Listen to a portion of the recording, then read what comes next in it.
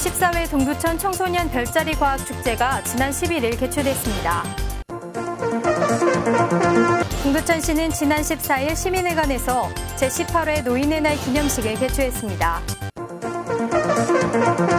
제9회 소유산 국화전시회 개막식이 수요일 소유산에서 열렸습니다. 시청자 여러분 안녕하십니까? 10월 셋째 주 두드림 주간 뉴스입니다. 학창 시절 선생님이 아이들에게 장래 희망을 물어볼 때면 꼭 과학자가 되겠다고 말하는 친구들이 있었는데요. 청소년들에게는 꿈과 상상력을 키워주고 학부모와 관람객에게는 가을밤의 낭만을 선사하고자 동두천에서는 제14회 청소년 별자리 과학축제가 개최됐습니다. 지난 11일 종합운동장에서 제14회 동두천 청소년 별자리 과학축제가 개최됐습니다. 이번 축제는 동두천시가 주최하고 사회단체 어수회가 주관한 행사로 초중고 대학 체험 부스와 동두천 소방서 등 유관기관이 참여한 가운데 진행됐습니다. 특히 별자리와 함께하는 신나고 재미있는 우주과학 체험이란 주제로 총 70여 개의 과학부로 나눠져 태양 흑점 관찰, 별자리 이야기, 물로켓 날리기 등이 마련됐으며 약 만 명의 사람들이 방문했습니다.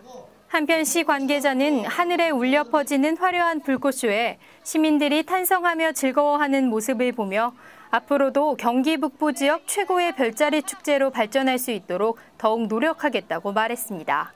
10월 2일은 노인의 날로 노인에 대한 사회적 관심과 공경의식을 높이기 위해 만들어진 우리나라의 기념일이자 매년 10월은 경로의 달이기도 합니다.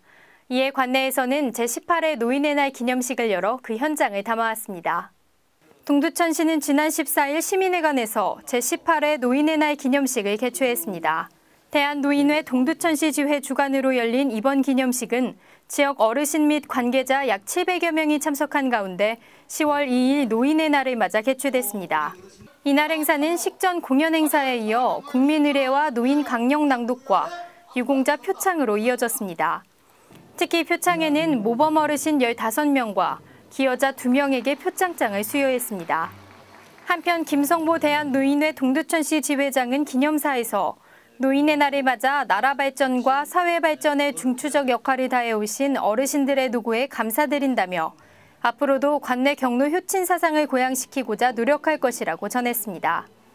풍요로운 결실의 계절 가을을 맞아 소유산에서는 국화 전시회를 개최하고 그 시작을 알리는 개막식을 가졌습니다. 동두천시와 동두천 국화사랑연구회는 지난 15일 소유산에서 제9회 소유산 국화전시회 개막식을 가졌습니다. 이날 전시회는 시에서 지난 1년간 시민들의 건전한 취미생활을 위해 국화사랑 연구회원을 모집하고 국화꽃 기르기 강좌를 실시해 시민들이 직접 만들고 키운 작품을 전시하고자 마련됐습니다. 특히 전시회는 입국 850여 점, 분재 450여 점 등 약 3,500여 점이 전시되며 다양한 형태의 국화를 선보여 소요산을 찾는 시민과 관광객에게 많은 사랑을 받아오고 있습니다. 한편 소요산 국화전시회는 2006년부터 매년 개최되고 있으며 이번 달 26일까지 전시될 예정입니다.